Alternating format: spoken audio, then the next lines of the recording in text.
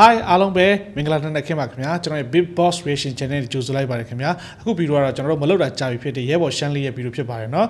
ဗီဒီယိုရဲ့ကောင်းစင်လေးရတော့เนาะဘယ်တော့မှမရှုံးဘူးလို့ပြောတဲ့တပ်မတော်ကြီးကတိုက်ရင်လိုက်ပျောက်သွားတဲ့အကြောင်းကိုเนาะရဲဘော်ရှမ်းလေးပြပြထားတဲ့ဒီဗီဒီယိုလေးကိုကျွန်တော်တို့တွိုင်းမှ reaction အတူတူသွားလုပ်ကြည့်လိုက်အောင်เนาะ ခေါင်းစဉ်ကြီးနှစ်ခုကိုအတူတူဆွေးနွေးကြမယ်ဆိုတော့ပထမဦးဆုံးနံပါတ်1ခေါင်းစဉ်တပုံအစိုးရအကြောင်းကိုကျွန်တော်ဒီနေ့ဆွေးနွေးမယ် อืม နောက်တဲ့ခေါင်းစဉ်ကတော့တမတော်ဟာပြည်တွင်းစစ်ပွဲတွေမှာဘယ်တော့မှမရှုံးဘူးဆိုတဲ့ခေါင်းစဉ်အဲ့တော့ဒီခေါင်းစဉ်နှစ်ခုကကျွန်တော်တို့မြန်မာနိုင်ငံရဲ့အရေးကြီးဆုံးသောဆိုတဲ့လူတွေအကြောင်းပါနေပါတယ်ဗျဒါကြောင့်ကျွန်တော်တတိချာလေးကိုချင့်ချင်ပြီးပြောရပါမယ်ဆိုတဲ့အခါကျတော့ပထမဦးဆုံးအနေနဲ့တက်မတော်ဆိုတဲ့အကြောင်းကိုကျွန်တော်ပြောပြမယ်တက်မတော်ဟာပြည်တွင်းစစ်ထဲမှာဘယ်တော့မှမရှုံးဘူးဆိုတဲ့စကားလုံးကိုလက်ကင်ထားပြီးတော့ကျွန်တော်တို့အစင်စင်ဘောငုံပြီးတော့ပြောနေခဲ့တာဒီနေ့ဟုတ်တယ်ဆိုတော့ သူတို့ပြောတဲ့တက်မတော်ကဘယ်ကတက်မတော်လဲဘယ်ချင်းကတက်မတော်လဲဆိုတာကိုကျွန်တော်ဒီနေ့ကိုယ်ကပြောပြပေးမယ်ဗျဆိုတော့ကျွန်တော်တို့နိုင်ငံလွတ်လပ်ရေးရဖို့အတွက်စ조사ခဲ့စဉ်မှရှိတဲ့တက်မတော်ကိုပြောတာဗျပြီးတော့အဲ့ဒီတက်မတော်ကလည်းပဲကျွန်တော်တို့တိုင်းရင်းသားအားလုံးပူးပေါင်းထားတဲ့တက်မတော်ဖြစ်ပါတယ်ဆိုတော့ဒီနိုင်ငံလွတ်လပ်ရေးနဲ့ဒီနိုင်ငံရဲ့ဒါပေါ့နော်ဒီဒါလွတ်မြောက်ဖို့အတွက်စတင်ဖွဲ့စည်းခဲ့တဲ့တက်မတော်ကနေအခုချိန်ထိလွဲမားစွာသုံးဆွဲခဲ့တဲ့တက်မတော်ဆိုတော့ဒီကနေ့ဒီအရာကိုကျွန်တော်ပြောချင်တယ်ဆိုတာကအရင်တော့ကတက်မတော်ဆိုတာကတောင်တော့တိုင်းသားညီကိုတွေနဲ့ဖွဲ့စည်းထားတဲ့တကယ်တက်မတော်ပါ ဆိုတော့အခုချိန်မှာသူတို့တွေရဲ့ပြောင်းလဲမှုပြောချင်တာကဗျာသူတို့ရဲ့အာဏာတည်မြဲဖို့အတွက်သူတို့ရဲ့လူတစုပုံစံပြောင်းလဲခြင်းနဲ့အခုဖွဲ့စည်းထားတဲ့ဒါမင်းအောင်လှန်ရဲပေါ့နော်နောက်ဆုံးစစ်ခွေးတက်ကြီးနဲ့တော့ဘလုံးမဆိုင်တော့ဘူးဒါပေမဲ့အချို့တွေကအခုချိန်ထိဒီတက်မတော်ဆိုတဲ့အတုံးနှုံကြီးကိုသုံးဆွဲလာလို့ကျွန်တော်ကဒီနေ့ထင်သာမြင်သာရှိအောင်ကျွန်တော်ပြပြတာပါဆိုတော့တက်မတော်နှစ်ခု ကွဲပြားနေပါတယ်ဆိုတော့ပထမဆုံးတက်မတော်ကကျွန်တော်တို့နိုင်ငံလက်ရေးရဖို့အတွက်ဂျိုးပန်းခဲတဲ့တိုင်းသားတွေအကုန်လုံးပါဝင်ဖွဲ့စည်းထားတဲ့တက်မတော်ဆိုတော့ဒီတက်မတော်ကိုအစစ်အစစ်ပြောင်းလာကြတယ်နောက်ပိုင်းမှာဗမာလူမျိုးကြီးဝါဒီဗမာတွေပဲအုပ်ချုပ်ရမယ်ဆိုတဲ့ပုံစံပေါ့ဗျာအဲ့ဒီအချိန်မှာတိုင်းရင်းသားတွေအနေနဲ့အရာရှိဖြစ်ဖို့တောင်မှခဲရင်းတဲ့အနေထားဟုတ်တယ်ဒါမျိုးတွေကိုပုံဖော်ခဲ့တယ်တိုင်းရင်းသားတွေဘွဲမရတာတွေလည်းအများကြီးတိုင်းရင်းသားတွေရက်စီဖြစ်လို့အဆင်မပြေတာလည်းအများကြီးတိုင်းရင်းသားတွေတကယ်လို့နေရာတစ်ခုရောက်နေမှာအပေါ်ရှင်းမဆက်တတ်နိုင်တော့ဟုတ်တယ်နော်သူတို့ဘိုးလောင်းတင်တဲ့နေဆိုတိုင်းရင်းသားတွေမခေါ်ဘူးနော်အဲတိုင်းရင်းသားတွေကိုဒီတက်ထဲကနေပြီးတော့ဒါသူတို့ရဲ့ရွေးချက်ရှိရှိနဲ့ဟိုးအနကိုတဲကဒါ ချော့လာခဲ့တယ်ဒါရော့ချလာခဲ့တယ်ဒါတွေကိုပြောချင်တာဗျဆိုတဲ့အခါကျတော့အဲ့ဒီအချိန်တည်းကစနစ်တကျစီစဉ်လာခဲ့တာနော်အဲ့ဒီအချိန်တွေကစနစ်တကျစီစဉ်လာခဲ့တာအခုမှထပြီးတော့မီးရှို့ပြီးတော့ထပြီးတော့မီးတောက်တဲ့ပုံစံမဟုတ်ဘူးဗျဒါကိုကျွန်တော်ကနည်းနည်းလေးပြပြတာပါဆိုတော့အခုလက်ရှိအချိန်မှာတော့ကျမစစ်ကောင်စီမင်းအောင်လှိုင်ဦးဆောင်နေတဲ့ခွေးတက်ကြီးကဘာတွေဖြစ်နေလဲပြီးတော့လက်ရှိမင်းအောင်လှိုင်ကရောသူ့အောက်မှာရှိတဲ့ဒါတက်ပြက်နေတာတေချာနော်ကမိသားစုတွေပဲလို့ပြောမယ်ဗျစစ်ခွေးမိသားစုတွေနဲ့အခြားသောသူတို့ရဲ့ဘောမနေတဲ့ဘောမတွေကိုဘာပေးနိုင်လဲဒါကိုကျွန်တော်ပြောချင်တာ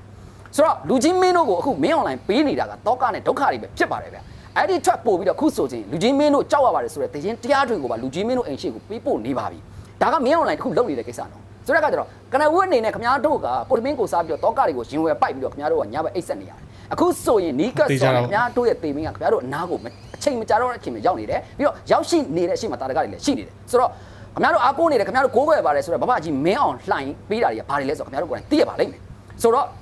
ကျွန်တော်အနေနဲ့ဒီကနေ့မှာခင်ဗျားနဲ့လူကြီးမင်းနဲ့ခွဲသုံးရတယ်ဘာဖြစ်လို့ကျွန်တော်ရဲ့မိဘပြည်သူတွေကကျွန်တော်ကြံပေးတယ်ဗျာအာကိုရှမ်းရေးသူတို့ကလူကြီးမင်းဆိုတဲ့အသုံးအနှုန်းနဲ့မတန်ဘူးပေါ့ဗျာဒါမျိုးတွေပါဆိုတဲ့အခါကျတော့တန်ချင်းမတန်ချင်းကသူတို့ပဲဆုံးဖြတ်ပါလိုက်မယ်လူတယောက်ရဲ့အစင်တန်းကသူတို့ကိုယ်တိုင်ဆုံးဖြတ်ရတာပါဆိုတဲ့အခါကျတော့တကယ်လို့မင်းအောင်လှိုင်းမျက်နှာကြီးမရှိတော့တဲ့တက်မတော်ကိုသူတို့ဖွဲ့စည်းတော့မယ်ဆိုရင်ရောပြောချင်တာကအခုချိန်မှာမင်းအောင်လှိုင်းကပြည်သူအလုံးရဲ့တကယ်ကိုမေတ္တာခံယူထားတာပေါ့ဗျာပြောချင်တာကဘယ်လောက်ထိမေတ္တာခံယူထားတာအချုပ်ပြည်သူတွေဆိုရင်ဖက်နှက်ဖက်နှက်မှာတော့မင်းအောင်လှိုင်းမျက်နှာကိုကပ်ပြီးတော့စီးတာဗျာ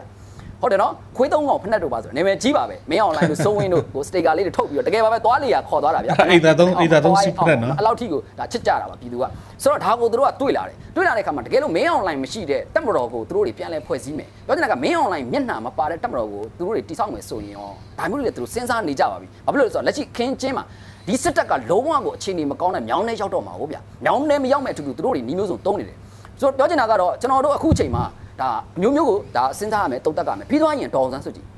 ကျွန်တော်တို့ပြည်သူတွေအားလုံးလေးစားချစ်ခင်ယုံကြည်ရတဲ့ဒေါ်ဆန်းစုကြည်ရဲ့မျက်နှာနဲ့ဒီနိုင်ငံရဲ့အခင်းချင်းကိုလည်းပြောင်းလဲလှုပ်လာနိုင်တယ်ဆိုတော့ဒီအချက်နှစ်ချက်ကလက်ရှိတမတော်ဟာပြည်တွင်းတိုက်ပွဲတွေမှာဘယ်တော့မှမရှုံးပါဘူးဆိုတဲ့စကားလုံးကြီးကိုငုံပြီးတော့အနောက်ကွယ်မှာပြောင်းလဲမှုတွေလုပ်ဖို့အတွက်လက်ရှိကျွန်တော်တို့သတင်းအတိအကျတွေရထားတာတွေလည်းရှိပါတယ် ဆိုတဲ့အခါကျတော့နောက်ထပ်တစ်ခုကိုကျွန်တော်ထပ်ဆောင်ပြီးပြောချင်ပါတယ်အဲ့ဒါဘာလဲဆိုတော့လက်ရှိအကြမ်းဖက်စစ်ကောင်စီတပ်ဖွဲ့ဝင်တွေကသူတို့တွေကသတင်းအမှားသတင်းအတုတွေကိုဒါပေါ့ဗျာသူတို့အခြားတော်လူမှုကွန်ရက်တွေတုံးပြီးတော့ပြီးတော့တကယ်သူတို့ရဲ့လူယုံတွေပြီးတော့တကယ်ကိုကွန်ရက်ကိုခံရမှာတိစောက်ပြီးတော့သတင်းအမှားသတင်းအတုတွေကိုဖြန့်ဝေနေတယ်ဆိုတော့လေကျွန်တော်ရဲ့မိဘပြည်သူတွေကိုကျွန်တော်အတိပေးလိုပါတယ်ဗျာဒါကြောင့် ကျွန်တော်တို့သတင်းအမှားတွေသတင်းအမှားတွေကတကယ့်ကိုသတင်းအမှန်ပုံစံမျိုးကိုသူတို့တွေကဒါကြိုနေပြီးတော့သတင်းတွေလွှင့်နေတယ်ဆိုတော့ဒါဒီပေါ်မှာလည်းမိန်မျောမနေဖို့ကိုလည်းကျွန်တော်တို့မြစ်တာရက်ခံလို့တယ်ဆိုတဲ့အခါကျတော့အခုကျွန်တော်အရှင်းမှာပြောသလိုပေါ့နော်သူတို့ရဲ့နိုင်ငံရေးအပြောင်းလဲတွေမှာစစ်ရေးအနေနဲ့သူတို့ကအစမပြေတော့တဲ့အချိန်မှာနိုင်ငံရေးအနေနဲ့ကသူတို့တွေနောက်ဆုံးဖက်ချက်တွေကိုထုတ်သုံးဖို့သူတို့တွေစဉ်းထားတယ်အခုလက်ရှိမင်းအောင်လှိုင်ကျမ်းမဲ့စစ်တပ်ကြီးကဒီ drone အားကိုးနဲ့ drone တပ်ဖွဲ့ကြီးအနေနဲ့ဒါပေါ့နော်တိုင်းသားလက်နက်ကတွေကိုမချိန်မုံနိုင်ဘူးပြီးတော့ပြည်သူ့ကာကွယ်တပ်ဖွဲ့ဝင်တွေကိုလည်းမချိန်မုံနိုင်ဘူးဒါနောက်ဆုံးသူ့ရဲ့ထွက်သက်ပဲဒါနောက်ဆုံးပဲဒါ ဆိုတော့ဒီနောက်ဆုံးရဲ့တိုက်ပွဲမှာ तू အစင်မပြေတော့ဘူးလို့သူတို့တွေတုံသက်လာပြီဆိုရင်မင်းအောင်လှိုင်မျက်နှာကိုဒီခွေးတက်ထဲကနေဖယ်ထုတ်ဖို့တွေသူတို့အစင်ကြည့်ပြီးတော့ကျွန်တော်တို့လေးစားရတဲ့ဒေါန်ဆန်းစုကြည်ရဲ့မျက်နှာနဲ့ဒေါန်ဆန်းစုကြည်ရဲ့အတန်ကိုတုံးပြီးတော့ကျွန်တော်တို့ပြည်သူကိုတစ်ဖက်လက်နဲ့ပြန်ပြီးတော့သွေးစီးစီးအောင်နိုင်တာကိုလည်းတွေ့ရမယ်ဆိုတော့ဒါကလည်းရာခိုင်နှုန်းအဖြစ်မှန်တော့မှန်နိုင်ပါတယ်ဆိုတော့ အဆင့်မရှိတော့တဲ့ဒီတက်ရှိပေါ့နော်သူတို့ပြောနေတဲ့သူတို့ခေါ်နေတဲ့စစ်ခွေးစစ်ခွေးတက်ကြီးကိုသူတို့အဆင့်တစ်ခုအနေနဲ့သူတို့ကပုံစံပြောင်းနေတာပြောချင်တာကပြောအခုလက်ရှိပြည်သူပြည်သူတွေအားလုံးလိုချင်နေတဲ့ပုံစံပြည်သူတွေအားလုံးပုံဘယ်လိုပြောမလဲတောင်းဆိုတဲ့ပုံစံမျိုးတွေကိုလည်းဘောင်ဝင်တဲ့ပုံစံမျိုးကိုလှည့်ပတ်ပြီးတော့သူတို့ကလုံမဲ့ပုံစံမှာကျွန်တော်တို့အခုဒါပြည်သူတွေကိုရေးကြီးကျွန်တော်သတင်းပေးနေပြီဆိုတော့လုံးဝကိုအချိန်မပြေတော့တဲ့အချိန်မှာဒီလိုမျိုးတွေသူတို့တုံးလာနိုင်နေဆိုတာကကျွန်တော်တို့ပြည်သူတွေကိုအခုကျွန်တော်သတိပေးတာပါကျွန်တော်ရဲ့မိဘပြည်သူများကိုလည်းကျွန်တော်သတိပေးတာပါအချို့လည်းသိရှိပြီးသားလည်းဖြစ်ကောင်းလည်းဖြစ်ပါလိမ့်မယ်ဗျ နောက်ထပ်အခင်းချင်းတစ်ခုတွေရင် Federal Federal ဆိုတဲ့ခေါင်းစဉ်အောက်မှာ Federal အကျိုးစီးပွားနဲ့သူတို့တွေအပြောင်းလဲလုပ်ဖို့လည်းရှိနေပါတယ်ဆိုတော့လက်ရှိအချိန်မှာကျွန်တော်ကဒီဟာတွေကိုပြောနေတယ်ဆိုတာကကျွန်တော်အခြားသောစီးရေးစစ်မှတ်ကိစ္စတွေမပြောဘဲနဲ့ဒီအချိန်ကိုဒီအကြောင်းမှာပြောနေတယ်ဆိုတာကအရေးကြီးနေလို့ပါကျွန်တော်မိဘတွေလည်းစဉ်းစားမိမယ်လို့လည်းကျွန်တော်ယူဆပါတယ်ဆိုတော့ Federal အကျိုးစီးပွားဆိုတော့ဒီ Federal အကျိုးစီးပွားဆိုတဲ့ပုံစံမျိုးနဲ့ပဲကရင်ပြည်နယ်မှာလည်းပွင့်နောက်ခဲ့တာလက်ရှိရှမ်းပြည်နယ်မှာလည်းအချို့နေရာတွေမှာရှိနေသေးပါအခြားသောတိုင်းဒေသအကြီးအခြားသောပြည်နယ်တွေမှာလည်းရှိနေသေးပါ Federal အကျိုးစီးပွား ဆိုတော့ Federal တော့ Federal ဒါပေမဲ့အကျိုးစီးပွားတွေနဲ့ရောရှက်ပြီးတော့သူတို့တွေအချင်းချင်းနားလည်မှုတွေယူပြီးတော့ပြီးခဲ့တဲ့ချက်ပိုင်းပြီးခဲ့တဲ့လပေါ့ဗျာပြီးခဲ့တဲ့လမှာမြဝတီမှာကြားခဲ့တဲ့အတန်တစ်ခုလိုပေါ့ဗျာမြဝတီကိုစစ်မဲ့ကင်းစင်စုံစစ်မဲ့ကင်းစင်စုံတိဆောက်ကြမယ်ဆိုပြီးအတန်တစ်ခုထွက်လာတယ်လို့မျိုးပေါ့ဗျာဆိုတော့ဘယ်သူကဘယ်သူနဲ့တိဆောက်ကြမှာလဲစဉ်းစားကြည့်ပါအောင်ကျွန်တော်မြင်ပါတယ်ဟဟလား BGF ပါမယ်ပြီးတော့ကျမ်းမဲ့စစ်ကောင်စီပါမယ်ပြီးတော့ KNU ကိုအတိုင်းဝိုင်းပါမယ်ပြီးတော့ပြည်သူ့ကာကွယ်ရေးတပ်ဖွဲ့ဝင်တွေပါမယ်တဲ့ ဆိုတော့မြောက်တွေကိုစစ်မဲ့ဇုံပေါ့ဗျာစစ်ဘေးကင်းမဲ့ဇုံပေါ့ဗျာဒါကြီးကိုတိဆောက်ဖို့တော့မှသူတို့ကဒါမျိုးတွေစီစဉ်ခဲ့တာပါဒါကခုနကကျွန်တော်တတိယလို့ပြောတာပါ Federal အကျိုးစီးပွားဆိုတဲ့အကြောင်းကိုကျွန်တော်ထည့်ပြီးတော့ပြောတာဆိုတော့လက်ရှိအချိန်နာမှာထုံလေးကောင်းပဲဗျအဲ့တော့လက်ရှိသူတို့တွေခေါ်ယူညှိနှိုင်းမှုတွေမှာလည်းထုံလေးကောင်းမယ် Federal ကိစ္စတွေပါတယ်ပြီးတော့အကျိုးစီးပွားကိစ္စတွေပါတယ်အဲ့တော့ဒါကလက်ရှိတိုက်တိုင်းရှုံးနေတဲ့ကျမ်းမစစ်ကောင်စီတက်ခွေးကြီးရဲ့နောက်ဆုံးသုံးမဲ့ပုံစံတွေပါဗျာသူတို့ချင်းချင်းလဲဖြစ်လာတဲ့အကြောင်းတရားကိုကျွန်တော်ဒီနေ့ပြောတာဒုတိယပိုင်းအနေနဲ့ကျွန်တော်အတိပြောချင်တာကတော့တပုံအစိုးရအကြောင်းကိုကျွန်တော်ပြောချင်တယ် ဟုတ်ပြီတပုံအစိုးရကျွန်တော်တို့အားလုံးကတပုံပါပဲဗျဓမ္မနဲ့အာရမအတွက်ကျွန်တော်တို့ကကျွန်တော်တို့စီကလူယူသွားတဲ့အမှန်တရားအတွက်ကျွန်တော်တို့ကပြန်ပြီးတော့လူယူတိုက်ခိုက်နေရတဲ့တပုံလေးတွေပါဆိုတော့ဒီတပုံလေးတွေကိုအုပ်ချုပ်နေတဲ့ဒီတပုံလေးတွေကိုဥဆောင်နေတဲ့လူကလည်းတပုံအစိုးရပါပဲဆိုတော့တပုံအစိုးရအနေနဲ့တပုံလိုပဲသူလည်းဘာလဲကြင့်ကြံရပါတယ်ဆိုတော့သူ့အနေနဲ့ခက်ခဲတွေအများကြီးရှိပါတယ်ဗျာဒါပေမဲ့ကျွန်တော်ဒီကနေ့ပြောချင်တာကကျွန်တော်တို့လက်ရှိတပုံအစိုးရကလက်ရှိဘယ်အဆင့်မှာရောက်နေပြီလဲကိုကျွန်တော်ပြောချင်တာဆိုတော့ နိုင်ငံတနိုင်ငံတော်လိုင်းလုပ်တဲ့နေရာမှာနိုင်ငံတနိုင်ငံအတွင်းထဲမှာဗျာအတွင်းထဲမှာပြည်တွင်းစစ်ဖြစ်နေတဲ့အချိန်မှာကျွန်တော်တို့ရဲ့ရပိုင်ခွင့်တွေကျွန်တော်တို့ရဲ့လွတ်လပ်ခွင့်တွေကိုအားမသိမ်းယူခဲ့တဲ့ကျွန်မစစ်ကောင်စီဒါမင်းအောင်လှိုင်အဖွဲ့ဆိုတော့ဒီဘက်ကလေးပြီးဒီဒီမင်းအောင်လှိုင်ကျမ်းမစစ်တပ်ကိုပြန်ပြီးတော့တွန်းလှန်ပုံကန်မဲ့ကျွန်တော်တို့ရဲ့ပေါ့နော်အရင်တော့တွေကကျွန်တော်တို့လွတ်တော်အနေနဲ့ရွေးချယ်ခံခဲ့တဲ့ဒါပြည်သူအစိုးရဆိုတဲ့အခုခေါင်းစဉ်နဲ့ပေါ့ဗျာဒါပေမဲ့လက်ရှိအချိန်မှာတော့တကယ်တော့သူကလည်းတပုံဆိုးရပါ ဆိုတော့ကတော့ကျွန်တော်တို့ဒီတပုံအစိုးရကကမ္ဘာစင်မြင့်နဲ့ကျွန်တော်အာရှစင်မြင့်မှာဘယ်လောက်ထိနေရယူထားလဲဆိုတာကြီးကြည့်တယ်ဗျဘာဖြစ်လို့လဲဆိုတော့ကျွန်တော်တို့ကလက်နက်ကကျွန်တော်တို့ပြည်တွင်းမှာမရဘူးပြည်တွင်းမှာမရတဲ့ခါကျတော့ကျွန်တော်တို့ကပြည်ပကနေနီးမျိုးစုံနဲ့ဝယ်ယူနေရတာဒါကပြည်တွင်းစစ်ဖြစ်ကြတယ်ဆိုတာကလည်းပဲဘလို့ပဲခေါင်းစဉ်တက်အာနာသိန်းလိုပဲဖြစ်ဖြစ်အာနာမသိန်းလိုပဲဖြစ်ဖြစ်အခြားသောနိုင်ငံတွေရဲ့ဘယောကမကင်းဘူးဗျပြောချင်တာကလက်နက်ရောင်းရတာဟုတ်ဗျဆိုတော့ကျွန်တော်တို့နိုင်ငံကပုံဝဲပြကြပြီးတော့အချို့သောအဖွဲ့အစည်းတွေကတကယ်ကိုပြည်နေတာချမ်းသာသွားနိုင်တာကိုလည်းကျွန်တော်ထပ်ထွက်ရပါမယ်ဘာဖြစ်လို့ဆိုတော့ကမ္ဘာမှာ အကောင်းဆုံးသောစီးပွားရေးလုပ်ငန်းကလက်နက်အယောင်းဝယ်လို့လည်းစတန်တစ်ခုမှဖော်ပြထားတာကိုကျွန်တော်တွေ့ရပါတယ်ဆိုတော့ကျွန်တော်တို့ရဲ့သဘုံအစိုးရအနေနဲ့လက်ရှိကာလကိုဘယ်လိုကြော်ဖြတ်မလဲပြီးတော့သဘုံအစိုးရအနေနဲ့လက်ရှိနိုင်ငံတကာရဝန်းကိုဘယ်လိုတွေသွားလာနေလဲပေါ့ဗျာဆိုတော့ထိုင်းနိုင်ငံကနေပြီးတော့ဩစတြေးလျကိုသွားတယ်ဩစတြေးလျနေပြီးတော့အမေရိကကိုသွားတယ်အမေရိကနေပြီးတော့ဂျပန်ကိုသွားတယ်ဆိုတော့ဒီသဘုံအစိုးရကဘယ် passport ကန်ပြီးတော့ဘယ်လေကြောင်းတွေစီးပြီးတော့ဘယ်လိုတွေသွားနေတာလဲကျွန်တော်ရဲ့မိဘတွေစဉ်းစားမိပါတယ်ပြီးတော့အချို့သောကျွမ်းကျင်ပုံကိုယ်တွေလည်းဒါတွေကိုသုံးသပ်ပြီးပါတယ် ဆိုတော့ဒါပေမဲ့ကျွန်တော်ကရဲဘော်ရှမ်းလေး YouTube channel မှာဒီကိစ္စကိုကျွန်တော်မိဘတွေနဲ့ကျွန်တော်တို့အတူဆွေးနွေးကြမယ်ဆိုတော့ကျွန်တော်တို့ထိုင်းနိုင်ငံကနေပြီးတော့ Australia ကိုသွားမယ်ဘယ် passport နဲ့ကျွန်တော်တို့သွားမယ်ဘယ်သူခွင့်ပြုချက်သွားမယ်ဆိုတော့တပုံဆိုတဲ့ခေါင်းစဉ်အောက်မှာဘယ်နိုင်ငံကမှလက်မခံဘူးဗျ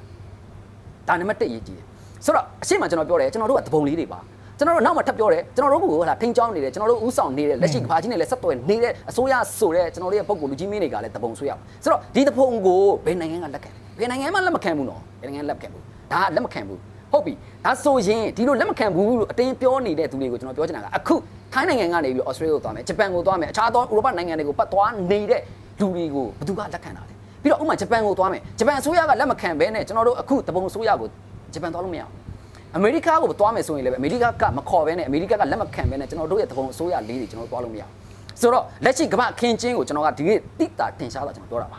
ဆိုတော့ ကျွန်တော်တို့အခုအချိန်လေးမှာလည်းပဲကျွန်တော်စစ်ကောင်စီကလုံးဝကိုရှုံးမယ်ဆိုတာကတေချာပေါ့ပေါ်နေပြီဆိုတော့ကျွန်တော်တို့ပြည်သူ့ကာကွယ်ရေးအစိုးရအနေနဲ့ပေါ့နော်ပြည်သူ့ကာကွယ်တပ်ဖွဲ့ဝင်တွေနဲ့ပြည်သူ့ကိုကာကွယ်နေတဲ့ဆိုရပါဆိုတဲ့ကျွန်တော်တို့ပုံကိုယ်တွေအနေနဲ့ရတယ်သူတို့စဉ်းစားနေတာကတိုင်းသားလက်နက်ကိုင် ERO EROS တွေသူတို့ရဲ့နေမီကိုတော့သူတို့အလုပ်နိုင်ပဲငါတို့ရဲ့မြေပြန့်ကိုငါတို့ဘယ်လိုပုံဖော်မလဲဆိုတာကိုသူတို့ကအသေးအံဖြည့်ရှာနေကြပါတယ် ပြီးတော့လေချောင်းရဲ့ကာကွယ်ရေးကိစ္စတွေနဲ့နီးပညာပိုင်းတွေကိုလည်းသူတို့တွေတော်တော်လေးကိုစူးစမ်းနေကြပါတယ်ဆိုတော့မြေပြင်ကနေပြီးတော့အချို့တော့ပေါ့နော်ဒါဖောင်းထုတ်နေတာလည်းရှိတယ်အချို့ကျတော့လည်းအမှန်တရားတွေချပြနေတာလည်းရှိတယ်ဒါကတော့ပုံစံမတူပါဘူးကျွန်တော်တို့လက်ငါးချောင်းတောင်မှအတူရှင်မတူသေးတာဒါတွေအကုန်လုံးလက်ခံရပါမယ်လက်ရှိကျွန်တော်တို့ရဲ့သဘုံဆိုးရကလည်းလက်ခံရပါမယ်ဆိုတဲ့အခါကျတော့အဓိကအားဖြင့်ကတော့ကျွန်တော် ERO တပ်ဖွဲ့ဝင်တွေနဲ့ဘယ်လိုသဘောတူညီမှုယူနိုင်မလဲဆိုတာကိုကျွန်တော်တို့ပွင့်လင်းမြင်သာစွာသူတို့အနေနဲ့ဆွေးနွေးရပါမယ်။နောင်လာမဲ့တိုက်ပွဲတွေကပို့ပြီးတော့ပြင်းထန်လာဖို့ရှိနေလို့ပါသိကြတယ်ဆိုတော့ရှင်းမကျွန်တော်ပြောလို့ပေါ့ဗျာ ဒါသူတို့ကပြည်ရင်းစစ်မှာသူတို့တွေရှုံးခဲ့ဘူးတဲ့တမိုင်းမရှိဘူးပေါ့ဗျာပြောချင်တာတိုက်ပွဲတွေပြောတာမဟုတ်ဘူးနော်သူတို့ရဲ့ယာဆွင်ပေါ့ဗျာအာသူတို့တွေပျောက်သွားတယ်ဆိုတာမရှိခဲ့ဘူးဆိုတဲ့ဟာပေါ့နော်ဒီစကလုံးသုံးလုံးကြီးကိုသုံးပြီးတော့ဒါပေါ့နော်ကြွေးကြော်နေခဲ့တဲ့အကြမ်းဖက်စစ်ကောင်စီအုပ်စုရဲ့တက်ရင်းလိုက်ကအခုချိန်ဒီမှာပျောက်နေတာပါဆိုတော့ရှေ့တွေမှာပြည်နယ်တစ်ခုတစ်ခုလက်လွတ်ပြီးတဲ့နောက်ပိုင်းတွေမှာအခုအချိန်မှာလည်းပဲတရင်တရင်လုံးပျောက်သွားတဲ့အဖြစ်တွေပါသူတို့ကြုံရတာပါ တန်တွဲမြို့ပေါ့ရခိုင်ပြည်တန်တွဲမြို့မှာရှိတဲ့တရင်တစ်ခုပျောက်သွားတော့တရင်မှုတမမှုကို၌ကိုအရသားပြည်သူကိုလှမ်းပြီးတော့ဖုံးဆက်မေးနေရတဲ့အခင်းချင်းဒီကနေ့ဖြစ်သွားပါတယ်ဆိုတော့သူတရင်ပျောက်သွားတယ်ရခိုင်ထဲမှာဒီကနေ့ဖြစ်သွားတာနော်သူတရင်ကြီးပျောက်သွားတယ်ဟာဒီတရင်ငါတရင်ပဲရောက်သွားတယ်လောက်ကြပါအောင်ကဲကြပါအောင်အဲ့တော့ရသားပြည်သူတွေဖုံးဆက်ပြီးတော့လိုက်မေးဖုံးဆက်ပြီးလိုက်မေးတော့ညာလဲသူတရင်ကြီးကလုံးဝကိုအစနာပျောက်သွားတာဆိုတော့သူတို့ရဲ့အချမ်းပဲစစ်တပ်ရဲ့အခြေအနေကိုကျွန်တော်ကဒီနေ့တုံးသက်တယ်ပြီးတော့လက်ရှိသဘုံအစိုးရဆိုတဲ့အကြောင်းကိုကျွန်တော်ပြောပြတယ်ဆိုတော့သဘုံအစိုးရအောက်မှာသဘုံလေးတွေရှိပါတယ်ဆိုတော့ ကျွန်တော်တို့ဒီသဘုံလေးတွေအနေနဲ့အမားတွေအများစွာလုပ်လို့မရဘူးဗျာဥပမာအညာဒေတာတွင်းထဲမှာစစ်ကြည့်ပြီးတော့เนาะတရက်စစ်မီပေးဝေရေးဆိုတဲ့ခေါင်းစဉ်နှွေနဲ့ generator တွေထိုင်ပြီးတော့ကျွေးရတွေကိုလျှက်စစ်ပေးပြီးတော့အဲ့ဒီမှာပတ်စံမပေးနိုင်တဲ့အိမ်တွေကိုမီးဖြတ်တဲ့ပုံစံမျိုးကိုလုပ်လို့မရဘူးလက်နဲ့ကင်ပြီးတော့ပြည်သူတွေကိုတွားမင်းတို့တစ်လောက်နှစ်သိန်းမပေးဘူးဆိုရင်မင်းတို့အိမ်မင်းတို့ရွာကိုငါတို့လျှက်စစ်မီးပေးလို့မရဘူးဆိုတဲ့ပကပပအဖတွေရဲ့ပုံစံအနေနဲ့ဆိုရင်တော့သူတို့ဟာရေရှည် ရစ်တီဖို့မရအောင်ဆိုတော့ဒီအခြေအနေတွေကိုပြောင်းလဲနိုင်ရမယ်ပြောင်းလဲနိုင်တဲ့တက်တီကလည်းတပုံအစိုးရစီမှာရှိရပါမယ်ဆိုတော့ကျွန်တော်တို့ကအခုအချိန်မှာတပုံပေါက်လေးတွေပို့လို့ကျွန်တော်တို့ရဲ့ဒါအစိုးရကိုလည်းတပုံလို့သုံးနေတာဗျဒီအသုံးနှုန်းကိုလည်းပဲကျွန်တော်ရဲ့မိဘပြည်သူတွေဘယ်လိုမြင်မလဲဆိုတာကိုလည်းကျွန်တော်ရဲ့ comment မှာရေးပေးခဲ့လို့ရပါတယ်ဗျပြီးတော့ရင်ဒီ Federal နဲ့ဒီနိုင်ငံကိုတိစောက်ပြီးတော့ရင်ကျွန်တော်တို့ရဲ့အစိုးရကိုလည်းပဲဒီ Federal အတွင်းမှာပါတဲ့တိုင်းရင်းသားညီကိုတွေအကုန်လုံးရွေးချယ်ရမှာဖြစ်ပါတယ်ဗျနောက်တစ်ချိန်မှာဖြစ်ပေါ်လာမဲ့ပြန်လည်တိစောက်ရေးကာလတွေမှာကျွန်တော်တို့ဘယ်လောက်ထိစ조사ကြအောင်မလဲဆိုတာကိုကျွန်တော်တို့ ကောင်တယ်ဖော်ဖို့လည်းလိုတယ်လို့အခုချိန်မှာ plan နဲ့ plan တွေလည်းချဖို့လိုနေပါပြီဗျ။ဒါပေမဲ့စစ်ကောင်စီတပ်ဖွဲ့ကတော့လက်ရှိခင်းချင်းပေါ့ဗျာကျွန်တော်အဓိကအချုပ်ပြောချင်တာကတော့နိုင်ငံရေးခင်းချင်းမှာတော့သူရှုံးနေပြီ။ပြီးတော့ပြည်တွင်းမှာလည်းရှုံးနေပြီ။ပြီးတော့နောက်လာမယ့်ဒီပေါ့နော်အခြေအနေတွေကိုသူတို့ကပြောင်းလဲဖို့အတွက်ညီမျိုးစုံစူးစမ်းနေပြီလို့ကျွန်တော်ကဒီကနေ့ message ပေးချင်တာပါ။ဗီဒီယိုကိုအဆုံးထိကြည့်ရှုနေတဲ့ကျွန်တော်ရဲ့မိဘပြည်သူများအားလုံးကိုကျွန်တော်ကျေးဇူးတင်ရှိပါတယ်။ကဲဒါကတော့ကိုရှမ်းလေးရဲ့ဗီဒီယိုဖြစ်ပါတယ်နော်အဲ့တော့ပြောသွားရန်ကောင်းပါနော်တိုင်မိုးကသူ့တိုင်ရင်ပျောက်သွားလို့တိုင်ရင်